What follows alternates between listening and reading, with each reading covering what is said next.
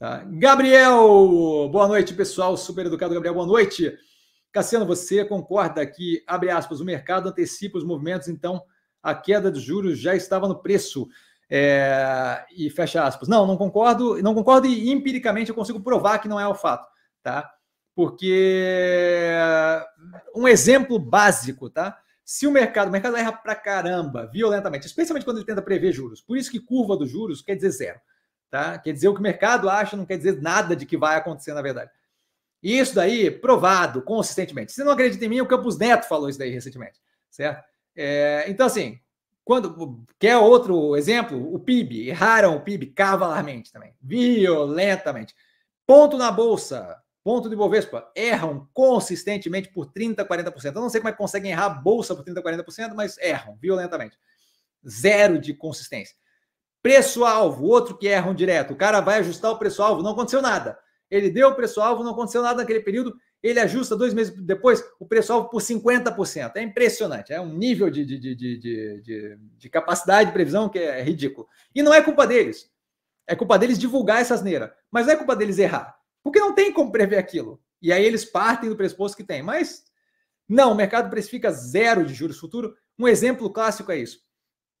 Quando a gente começou a ter a subida de juros nos Estados Unidos, aqui no Brasil também, é, a gente viu que é, os ativos vinculados, aqui nos Estados Unidos aconteceu isso, a gente viu os ativos vinculados a crescimento, as, as, as empresas aqui, especialmente aqui no Brasil, de tecnologia, afundando de preço.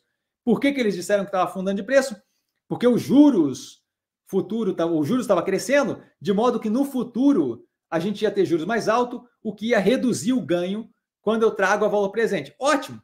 Eu entendo que se no futuro a gente tiver juros mais altos, a gente vai reduzir o valor ganho no futuro, trazido a valor presente. Porém, entretanto, todavia, se você precifica o, antecipadamente o movimento, esse juros crescente já deveria estar precificado, não deveria alterar nada no preço do ativo.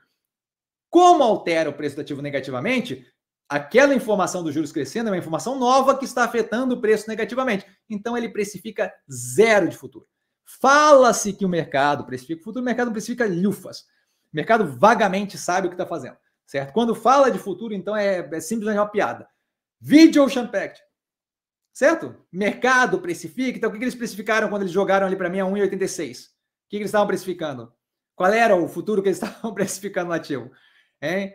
Minerva, é, login, e posso tocar aqui uma cacetada, APV, posso tocar uma cacetada de operação aqui, uma sequência de operações que foram feitas, que deu um baita de um ganho, por quê? Porque o mercado o mercado mercado para mim, a imagem que me vem na cabeça quando eu penso mercado, especialmente mercado brasileiro, é o Mr. Magoo. Não sei quem é que tá. Quem procurem na internet aí, Mr. Magoo. Tá? Não sei quem tá familiarizado, a galera mais velha, Carlão ali deve saber quem é. É e desculpa, Carlão, ter chamado você de velho, mas é, tô me colocando no mesmo pacote. Paulão deve saber também.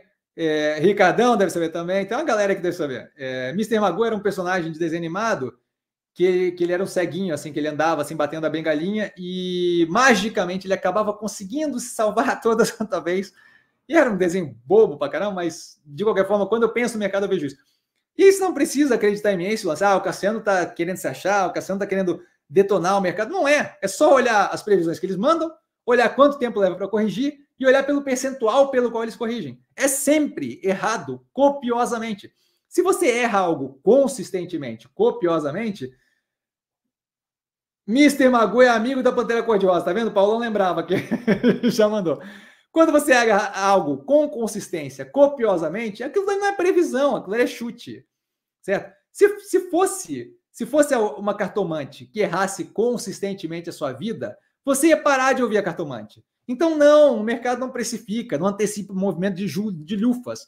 Se o mercado antecipasse o movimento de, de alguma coisa, quando começou a ter a subida de juros, não ia ter começado a ter queda de preço de ativo. Por quê? Porque o mercado já teria antecipado que ia ter uma subida de juros.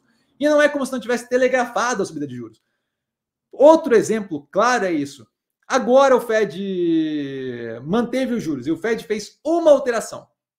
O Fed falou que, basicamente, ele falou isso, que ele vai estender um pouco mais o aperto monetário. Não vai ter é, subida diferente, mas ele vai estender um pouco mais o aperto monetário ele falar que ele ia estender um pouco mais o aperto monetário fez o quê? Os preços dos ativos começaram a cair. Se o mercado precifica antecipadamente, aquilo dali não estava precificado? A, a, possibilidade de manutenção por um pouco mais de tempo da política monetária restritiva? Sério, é isso? Que precificação que vocês estão fazendo então? Não é. O mercado reage ao que acontece naquele dia. O mercado fala que precifica o futuro, mas é lufas, é futuro zero. Estão precificando uma recessão há, há dois anos que estão precificando uma recessão nos Estados Unidos. E aí, cadê a recessão? Que precificaram. E digo mais: se a recessão efetivamente acontecesse, o preço dos ativos ia cair, porque nem direito a, recessão eles precificaram. Então, é um balela do caramba, precifica lufas de antecipado. Tá? O mercado viaja violentamente. Isso que acontece.